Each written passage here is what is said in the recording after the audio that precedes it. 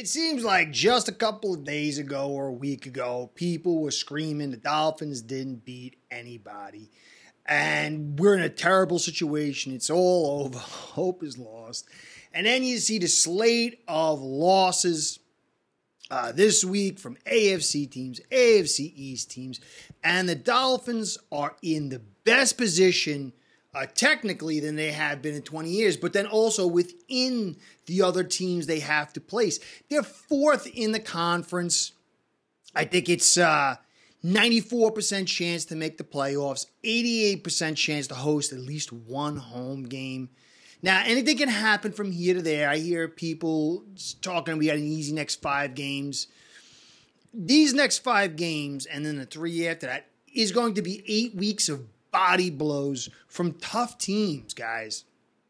Nothing is guaranteed. And then we had Dorsey getting the beep can over in, in Buffalo territory, which is great for the Bills. Well, it could be. It's great because he sucked. And you can replace him with a corpse and you'd probably get an improvement. Uh, but if this guy Brady is good, you could see this Bills team find their way back. You heard it here first when it happens. I, I, hear the talk, it's all over. It's no, no, no, no, no, no. I watch every game because I cover them, because I, I cover, I watch every game from the AFC East. I don't care what team you are because you got to know your enemies. This Bills team, if they do what I said they should have done three years ago, they're going to be tough again. Uh, but the Dolphins have a game and a half lead right now, and then they've got the Week 18 matchup at home. And the Jets, I don't know. They're saying Rodgers is coming back. Uh, Pats are dead, you know. Uh, Jets, I don't even know if they can, even if, if Rodgers comes back. So the Dolphins are in a phenomenal, phenomenal position. You had the Ravens lose, the Bengals lose, the Jags lose, the Jets lose. And honestly, I wish the Bills won last night because I wanted them to keep Dorsey because Dorsey is disaster. I said in my other podcast, think about Joe Philbin and Adam Gase had a love child. That is Ken Dorsey. I want him to be the Bills OC as long as possible. Uh, I think this could be trouble. All right, so we are here in a phenomenal situation. Nothing's guaranteed, and it's starting with the Raiders. Now, uh, I'm going to get into a couple of things. I want to cover uh, this position that we're in, the Raiders game coming up, Hunt Mm, looks like he's likely to be out this week and maybe next week if the tea leaves are pointing the way I think. Uh, but on a good note, Lamm is cross training at guard. So those are things I want to cover, but I want you to take a look at this. Man, this is uh, tweets by Sneaky Joe. Look, you see the pine tar on the back of the Broncos kicker's hand. Oh man, something's got to be done, but that's illegal in the NFL wow, man, that's uh, a big deal. I, you know, but it was, you know, basically uh, uh, push it forward here because you just don't want this stuff. Obviously, it makes it easy. You go up into Buffalo, you got some wind, maybe a greasy ball. You put some pine tar in your hand, it's easy to catch. Remember the old Lester Hayes thing? Is Lester Hayes with the football? So much pine tar stuck to his hand back in the old days. That was funny. Uh, so and then last, before I get into everything else, you see Omar Kelly here, four offensive linemen, and three of them who played center told me the snap was good enough. Uh, the snap that ended the game last time would have been perfect for a right-handed quarterback. Stop making excuses for quarterbacks falling short. But I want to add to that that I didn't add my little video, my short video that I made is if you watch Connor every single snap, almost invariably, if he goes to the right, it goes to the right. It, it, it goes right. If he goes to the left, it goes to the left. Tua had to know that. It, it's critical to understand your personnel as a leader. We see how Dorsey didn't get it and, and screwed things up. Tua's got to know that this play is going to the right and that ball is going to go wide right. I can't even start my motion to the left until I snag that ball because it's probably going to go to the right. So all the things I did in my little short video on it, and what you saw from Kelly, and what I'm just telling you now, it was to his fault. But who cares? Look what look what Allen did. He lost a game. Uh, uh, Mahomes has lost games. Hurts has lost games. All these top quarterbacks have lost games. But Tua is getting tagged for some reason because he did it. Every other one of these top quarterbacks has done it. So whatever. We're still in the best position. He has a chance to do whatever he, he needs to do to make that image stop. So let's move forward. Uh, oh, last thing. Friday, I'm going to be back to my uh, lives Friday night at 10 p.m. I'm going to be over at Jedi Sports Network on Saturday at 6 p.m. Join me in both spots. And don't forget, like, subscribe, comment. And if you have subscribed, hit the notification bell. And I want to add that again, the comments. The comments mean the world to me. I've been under the weather, so I'm, I'm, getting back to them, but I love the comments. I always learn from the comments. All right, here we go. This is it. This is the final exam. I said that. It was my first PC back from my little mini break. Uh, we're in the high point talent season. McDaniel, Tua, and Co. have a two game, game and a half lead in the AFC East. They have a fourth place in the division. They have five manageable games. And then they have the final battle against the defending AFC East champions in their house. This does not get any better. I mean, can if you're like the old 49ers where you, you know, you go 15 1 or whatever. But you know what I mean. This is like as good as it's going to get. This is on a silver platter. And this team needs to deliver. McDaniel needs to deliver because it ain't going to get easier. If he can't deliver, if Tua can't deliver, and this team can't deliver this year, it does not bode well for the future. But I do believe this team has what it takes and it's getting the pieces back, and it can, along with obviously Fangio and the defense continuing to improve, to do what it needs to do and get to at least the conference championship. But we've got to hold on to that. This is a fun game. I don't want to hear if we don't pull it out. If something doesn't go right this year, I don't want to hear, well, we'll get them next year. No, this is it. This is the final exam, and I do believe we have the opportunity. Now, it's going to start with the Raiders. And people, we're going to blow them out 31 17. Maybe, but it's about matchups. Does anybody even like investigate like how this all came about, like how the Raiders are five and five, how we lost? If you go look, the Raiders were beaten by three teams that are kind of comps to us on offense, at least. Uh, the Bolts, uh, the Lions, and the Bills. They, they, were beat by them, but Detroit put up 220 yards on the ground. The Bolts, the Bolts put 140 on the ground, and the Bills put 200 on the ground.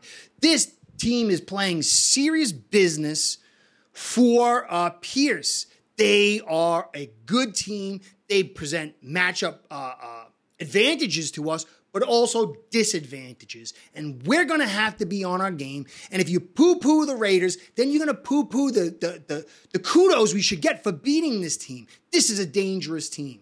And if we beat them, the Dolphins deserve a round of applause. But it's going to take McDaniel running this football.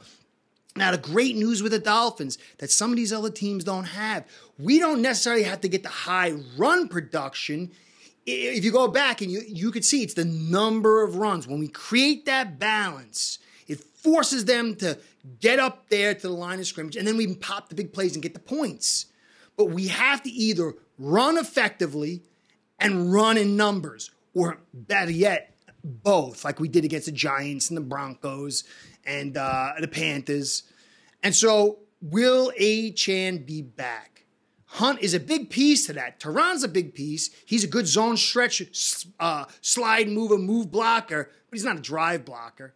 And whether you get Lamm, which I'll get into in a second, or you got uh, uh, Eichenberg or Cotton at left guard, they're not really good blockers. Connor is suffers from a little bit from power. And again, we got Cotton over there, Eichenberg, whoever to put in the right tackle, not so good. And Jackson is not good. So we've, we we can make that hay on the zone stretch. If you've watched the games, they've done these teams, Detroit, Bolts, and Bills, did some nice damage on the zone stretch. And I do like if if Lamm can get in there at the left guard. I don't know if he can get in this week, but even with Jackson and uh, Cotton and uh, Connor, and I'm not sure about Eichenberg though, and Terron, we can get that zone stretch, and Mostert could break his plays, he break his tackles and make some plays, but then Achane can get into some space and pop it. And a couple of those could be enough, but it's going to come down to the run game. But this won't be easy. I think it's going to be a slugfest through most of the game. Probably break it open at the end, hopefully, if we're doing the right stuff. But I don't think this is going to be out of the gates us blowing them out because they've got a quality. They've got Graham that we used to have, and he's gotten a lot better over the years as defensive coordinator. And they've got a talented secondary, talented linebacker, and Maxx Crosby can get on you quick. And it's going to be key to see how Jackson can handle it. They're going to put somebody over on Toronto to occupy him, and they're going to isolate Jackson. And this is Jackson's chance to show that he's proving me wrong and he's proving all the people supporting him right. It's going to be a big game for him. So, anyway, uh, before I get into the rest, uh, it doesn't go down without my sponsors. Uh, I, I, have to give them the shout out, but I also have to give you a shout out because without you, without them, this show ain't going down. Ace Per Heads betting software is the premier white label platform for bookies to manage their players and grow their sportsbook operation. Click the link in the description below to get set up in minutes. Ask for the Curtis promo and get a special introductory discount. All right, so I did a little thing yesterday or a day before. Uh, Hunt's likely going to be uh, week to week. He's week to week. So week to week means he's not playing this week. Uh, Lamm is getting cross changed. I'll get into that in a minute. I like it to a certain extent, especially if Hunt's in there. If Hunt's in there, I really do like it. Uh, but we're going to go in a little thin. Eichenberg is likely going to have to play some part in this game. And this defense is going to get that time to throw up there, and it's going to force this offensive line to play. Thankfully, Terron's there and Khan is there, uh, so it, that is good news. But if he's if Hunt's not in against that Jets against a short week with two physical teams that close together and us without Hunt, our most physical offensive lineman, it's going to be tough. And I do believe the Bills are going to get on their game. They got a very tough schedule, and they're going to have to be A plus in order to make hay. But that Jets game could be very, very dangerous if Hunt's not in. Gotta hope he's going to be there. I don't think he's going to be there this week. But the eventual layout of Terron, Lamm, Connor, Hunt, and Jackson could be very, very good. And this is why. Lamm is a good zone stretch guy. So you would have Terron, who could drive block decently. My man could could do anything, but he's much better at the zone stretch. But you'd have two guys that good at zone stretch with Connor who can get to that second level. He could double and then peel off. That's great. But then you got on the backside, you could do that counter action or, or straight uh, attack action with Connor and Hunt, and Lamm can do enough. Lamm is better than Wynn. Lamm is better than Eichenberg. He's about the same as Cotton, I'd say, to get that inside zone running. And if you can get teams biting inside and then by getting the outside action plus this pass game, we can get to our final form. Uh, Lamm has never ever played uh, left guard. Oh, I shouldn't say never. He's played had one snap I think I saw in the NFL. Uh, but I don't think this whole moving to position position for some players is that big a deal. I think the guy could do it. I think he's going to be a bonus for us. I thought he should have came for Jackson, but people like Jackson, and Jackson hasn't done terrible, so I understand. But you've got to fill this left guard spot. Jones has some problems. He's got two knee injuries, and that could really mess him up as far as getting on the field. And then obviously, you don't want Eichenberg there. Uh, and then Cotton, I mean, Cotton's not bad to fill in there, I guess, over Hunt. He could kind of do some stuff, but he struggles in the pass game. Uh, so this is good news, but this last eight games will be determined by the run game and the offensive line. It will grow higher and higher to be the piece of the puzzle that gets us over the top or holds us back. You can mark my words and bet on it. These defenses, these teams are going to force that to happen, but we do have the capacity to do it. And that's the great news. All right, guys, be very excited. You're in it. You're really in it. It's not, don't listen to the media. They're all, they suck for the most part. They don't know jack. All they want to do is hype you up and get you emotional. This team's in it. Not guaranteed, but we are in it with an advantage, and we'll know everything by season's end what this team is really about. And that's a great thing. No more next year. We'll know. We'll know. We'll either know because we go really far or we'll know because we crap out. And at least it's better to know than to keep on guessing. Curtis saying, catch you next time. Be well. Go Fins. Start building your own online sports book today by getting signed up with AcePerHead.com service that'll allow you to book action on sports from all around the world.